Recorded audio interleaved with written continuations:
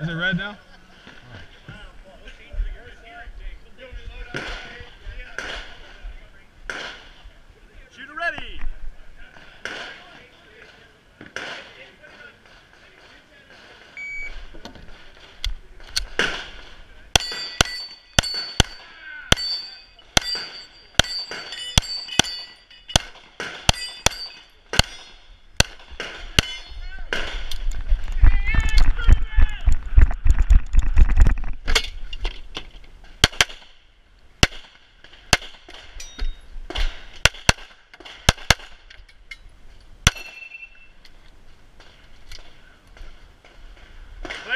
There you go.